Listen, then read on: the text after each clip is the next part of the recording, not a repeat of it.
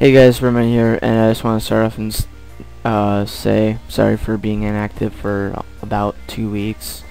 Uh, I started up school and I'm getting a lot of work this year. I'm a junior and I probably won't be able to post that many videos this weekend and into next week because I got assigned a huge project, a group project, and I don't want to let uh, my grade drop so early in the year. So I just want to start off and say sorry about that. But what I'm going to show you of how to do is you probably already know how to, but I just want to get a video out there is um, how to do a CC lens. And it's really easy. I already, yeah, I already got the clip disable resample and then check the maintain aspect ratio and I'm already at the part where uh, he shoots that I want to sync and what I'm going to use for the CC lens is you can use the elliptical ring and try to make it a perfect ring and then you can uh, zoom out with pan and crop. Oh sorry zoom in with pan and crop and then zoom out.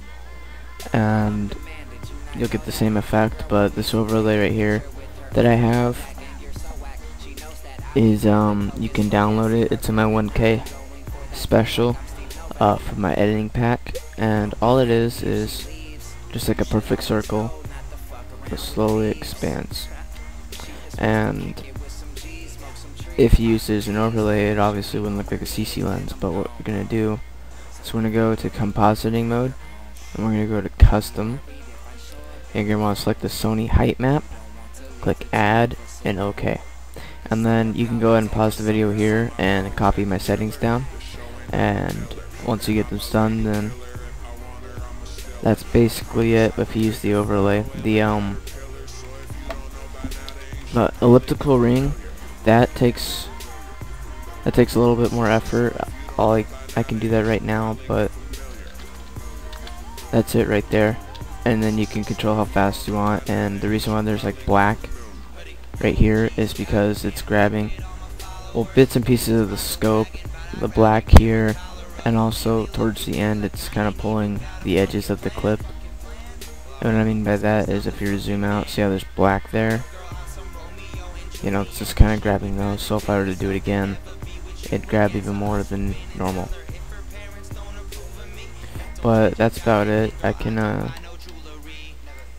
I can go ahead and show you how to do the elliptical ring way really fast if you guys want to do it that way or if you don't want to go looking for um, the editing pack. So what you would want to do is go ahead and click this uh, generated media button. And then you're going to want to mess with these numbers 1, 2, and 3 to just try and get a good circle going. Kind of want it skinny too. And then once you get uh, your circle all you need to do is keyframe it so in the beginning you're gonna want to zoom or zoom out you know as much as you can so what you could do is you could uh, scroll out so you get some more space and just zoom as far out as you can make sure both of these are checked otherwise it won't work like it just did for me. And then let's say you want it to end about here. Oh, I'm sorry. Um, then you just want to restore. So it starts off small, and then you zoom in on the ring, which makes it expand. And the reason why, yeah, I have the auto sync thing on.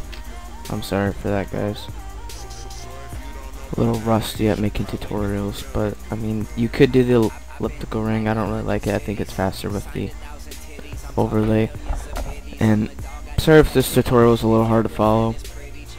It's really basic once you, you know, get the idea of how it works, but um, I'm going to try and get an edit out soon. I've been working real hard on it. Try and get something worthy to come back on and I'm going to keep trying to make more videos and tutorials. Sorry again if you got confused on this, you can go ahead and comment below uh, any questions if uh, you didn't follow anything.